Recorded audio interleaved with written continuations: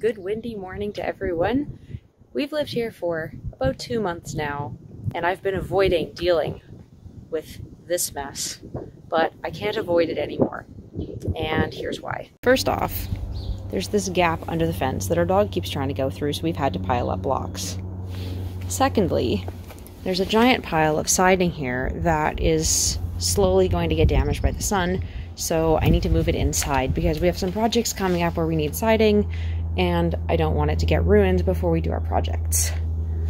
Thirdly, and most importantly, there's morning glory growing up in the cracks and it's starting to make its way up under the siding. And you can see it did that last summer from that piece there. So it's gone up under the siding before and I'd really like to avoid it going up. Again, you can see it's just all in there. So we need to deal with that to prevent it really getting a foothold in here and flowering and setting more seed and causing more problems. You can see how much vine was there last summer. So let's try not to repeat that. And last but not least, it's just a disgusting mess and I hate looking at it and I'm just done with it and I want it gone. So yeah, that's the plan today. I bet you thought we were done with cleanup videos, but surprise, one more cleanup video. Yeah, we're gonna be planting fruit trees in the next week or so. We got our maps showing where all the utilities are. They're pretty vague, so we're still, still gonna have to be pretty careful digging, um, but we have the trees, we have the berry shrubs. I need to buy a few more plants for the guilds, um, but I've got most of it, and the plan is to plant it on Monday.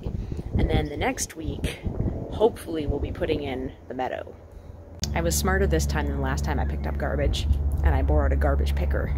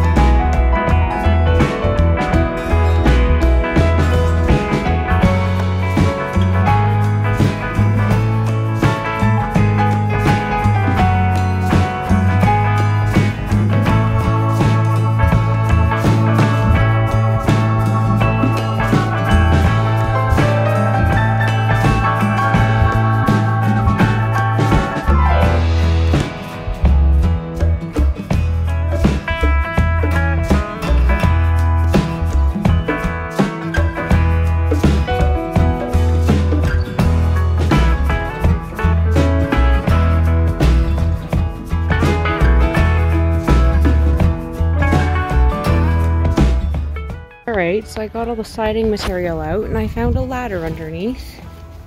Um, filled with what appears to be stuffing from stuffed animals. And I think there might be a... No, that's a rock. I thought it was a shoe, but I think it's a rock. Yeah, this is pretty gross. But it's a free ladder. That's pretty cool. Mm, there's another one. I'm a little worried it was a nest of some sort, so I'm definitely going to use the garbage picker upper to get rid of this stuff. Ew.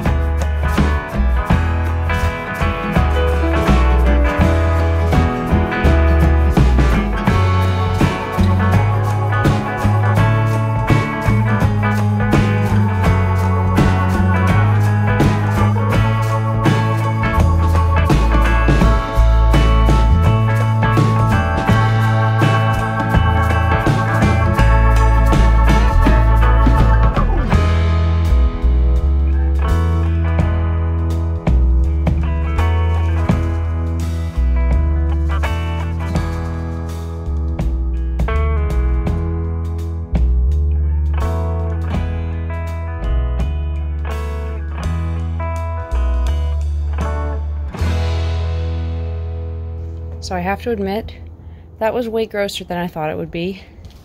Look at what came out of that ladder. Oh my god. That's a big bag of stuff.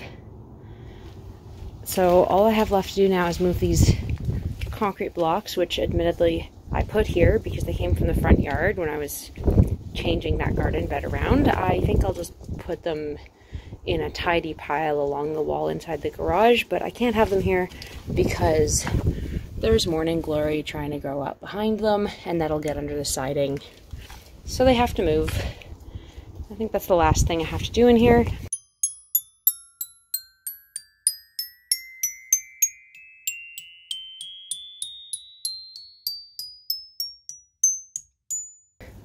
Everything is gone. It feels so empty back here. And here's the reason again why we had to do this. This is morning glory. It's growing up through the crack and eventually it'll work its way up into under the siding and get all up in there and damage the siding over time. And I know it's probably been doing that for years, but I'd like to prevent it from doing that for many more years. And for now, the concrete blocks can live in the garage until I decide whether I'm using them somewhere or getting rid of them. I might just put them up for free on Facebook Marketplace, but I haven't decided yet. And I guess over here, you're getting a sneak peek of uh, materials for a super secret future project. That's probably not so super secret because there's only one reason that gardening channels usually have a bunch of lumber. Speaking of super secrets, in the interest of showing my work, as I talked about in the last video, I thought I would show you why I always seem to be filming at very strange angles. Because I am filming at very strange angles. I don't have a tripod, so I've been filming using a uh, garden chair and a tiny tripod. I know, super pro setup, but I'm just a very frugal person and I can't justify buying a tripod when not many people watch my videos. If you want me to get a tripod, like this video and uh, subscribe to see all the future projects. Speaking of future projects, I need to do a compost project because there's a serious flaw with my old system. At this bin, it was to solve a very specific problem, and that problem was not having something to do with our kitchen scraps. And that's all well and good. But I kind of forgot that the other problem is that we have this giant lawn. And I forgot how much lawn clippings come off of a lawn when you're mowing it every week. So all of that can't fit in there. So I need another solution. Thinking that that other solution is to just get a roll of welded wire mesh and form it into a three foot circle and just stick that three foot circle somewhere up in that back corner and dump lawn clippings in it and then alternate with brown materials like shredded paper because we don't have any leaves. And hopefully it'll give me some nice compost. Even though I know that there won't be a giant lawn forever because the plan is to replace a lot of it with gardens. Oh, sorry, there's just a helicopter going over. The fact is still that we have a problem right now where we have an abundance of lawn clippings and a shortage of places to put them. And I'm very reluctant to send organic matter to the city composting program when I need compost. It just doesn't make sense to me to give away my lawn clippings and then buy compost. And I guess now that all the garbage is out of here, the last thing we have to do is clean it up and hose it down.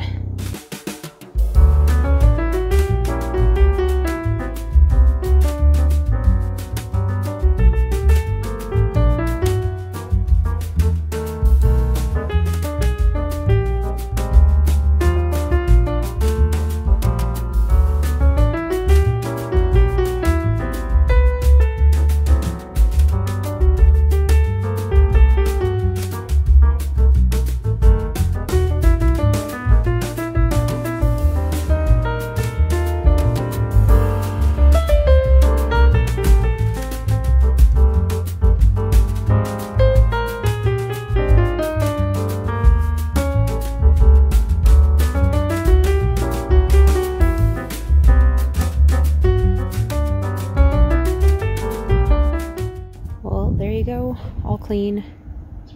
I'm thinking the plan is once we replace the fence to just plant some ferns along the dirt on the edge there. Just keep it simple. All right, well, that's it for me this week. But before I go, I thought I would share a funny little anecdote from yesterday. So apparently, Adam was hanging out with the neighbors having some driveway beers, and they were all talking about how relieved they were to have normal people move in next door. And Adam just laughed and said, wait until Laura starts transforming the front yard and then tell us how normal you think we are. I just thought that was funny. Anyway, hopefully I will see you next week and we'll be planting some trees. I know I've said that like three times already, but this time we have the utility plans, we have the trees, everything is in place. We should theoretically be able to plant them and we have a day off together. All right, hope you're having a good week. Bye.